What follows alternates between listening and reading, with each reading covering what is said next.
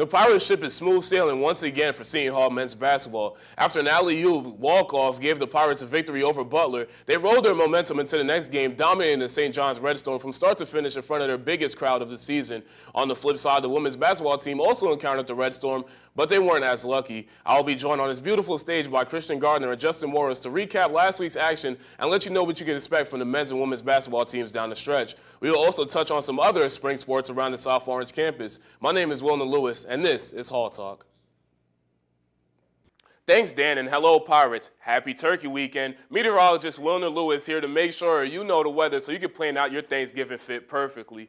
Today, it will be nice for the end of November with a high of 58 and a low of 38. Tomorrow, the wind will be huffing and puffing with some potential showers in the afternoon with a high of 57 and a low of 45. On Thanksgiving Day, make sure you have a jacket ready because you're going to have some strong winds and a high of 49 and a low of 32. For all you Black Friday shoppers, it will be sunny with a temperature that will be crisp of a high of 45 and a low of 28. Finally, on Saturday, you can recover with a partly sunny day and a high of 40 and a low of 33. That'll wrap up your five-day weather forecast. I'm Wilnir Louis. Now it's time to send it back to Dan and Christian with the latest news from around the country. Thanks, John Quill. Hello, Pirate fans. I'm Wilnir Louis here with your Seton Hall Sports Update. It's the most wonderful time of the year, at least those interested in NCAA basketball. After an offseason that seemed like it took ages, Seton Hall men's basketball finally returned to action inside of historic Walsh Gymnasium last Friday. The Pirates played their first exhibition against Bloomfield College, a game where they came away with an 81-52 victory. Big East preseason player of the year, Myles Powell led the show for Seton Hall with 21 points. Jared Rhoden and Myles Cale both hit the double-digit mark with 13 and 10 points respectively. They will play their final tune-up game today against Misicavige Cougars at 7 p.m. in Walsh Gymnasium before the official season starts next Tuesday against Wagner. Staying on the hardwood, the Seton Hall women's basketball team will play an exhibition game as well in Walsh Gymnasium on Wednesday at 7 p.m. against the Jefferson Rams. This will give Pirate fans their first opportunity to see the 2019-2020 Lady Pirates, with 10 new faces being able to grace the floor. They will also boast the Big East preseason Player of the Year in Shadeen Samuels and Desiree Elmore, who got the preseason All Big East team nod. Shadeen Samuels was also named to the Cheryl Miller Awards watch list, which recognizes the top small forwards in women's college basketball.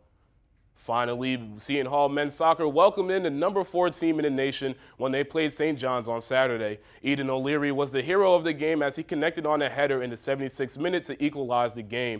After two overtime periods, neither team was able to score and the game ended in a 1-1 draw. This was the first time Seton Hall drew a point on a nationally ranked team since 2017. Currently, Seton Hall is two points out of a, bit, a spot in the Big East tournament, and they'll return into action today when they play Army West Point at Owen T. Carroll Field at 5 p.m. That'll do it for your Seton Hall Sports Update. Once again, I'm Wilnir Louis. Now back to Isabella and John Quill with your local news from the tri-state area it really was the Romaro Gill show from start to finish. He finishes that game with 15 points, six rebounds, and eight blocks. He almost had a double double of blocks and points, but you can't speak enough about what he means to this team. He was a dominant presence down low, one of the contributing factors to why the Pirates led the points in the paint battle 32 to 23. And Wilnir, honest to God, I've never seen a big man like this for the Pirates since Angel Delgado, and he's on an absolute rampage.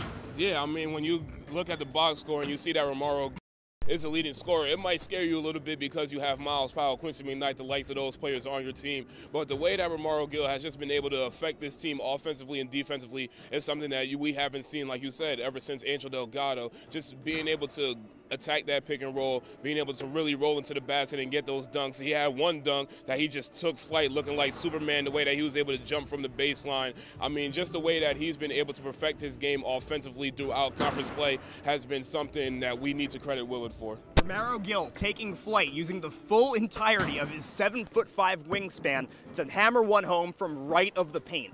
I've not seen range like that from him ever. So the fact that he was able to pull that off in this contest was one of the determining factors that absolutely deflated the Friars' attack. The player that stepped up, at least for me, on this game was the freshman Tyrese Samuels. Seven points, six rebounds in 19 minutes of play. You will again, he's only a freshman, but for him to step up in these big moments at the Prudential Center, which was rocking today, I thought it was a very good performance. Yes, it was a good showing by the crowd, and um, Tyrese Samuels looked a lot more comfortable out there. He played more minutes with Myles Powell, and um, he played more minutes than Sandro Mamukelashvili, um, which um, uh, Kevin Willard was asked why he was taken out so early and didn't play that many minutes, and he just simply said he wasn't playing well.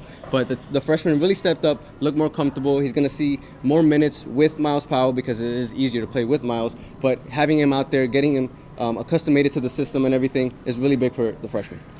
Need food, but finding that your budget is a little tight? Well, DoorDash will help you eat with a minimal cost. For a limited time only, DoorDash will be giving away 1 million McDonald Big Mac sandwiches for only one penny. That's right, only one cent. Plus, when you do purchase a Big Mac from the company, you'll be entered into a drawing for a chance to win a million dollars. If the coupon doesn't auto apply, use code 1M Big Mac. This offer is valid until 11:59 p.m. on October 4th. You just gotta think about it like this: just he was brought on this team as a defensive presence. I mean, he's 7'2", and Seton Hall hasn't had a 7'2 player in I don't know how long. But for him, he just has a little bit more confidence. In the early games in non-conference and even in the games last year, you saw Seton Hall trying to work that pick and roll, but he just had butterfingers. There was just no way, shape, or form that he was able to really make a, a presence offensively. But now in conference play, he's starting to get that confidence up. He's starting to really work on his offensive game, and you're seeing it in the box score. I mean, 17 points for him. In the beginning of the year, you would not expect that, but this year, he's just showing out and showing up. Yeah, 100%. And against Butler, when you look at how Romaro Gill played, their bigs and their forwards did not have an answer for him. He finished that game 6 of 7 from the floor and 5 of 6 from the charity stripe. That is phenomenal. And it also speaks to the size mismatch also. Butler, not the biggest team. Once again, the Seton Hall Pirates took down the Florida A&M Rattlers 87 to 51 here at the Prudential Center. They'll be back on the Prudential Center on December 19th when they welcome Maryland to the building. But for Ronnie Jerez, I'm Wilnir Louis signing off here on Pirate Television.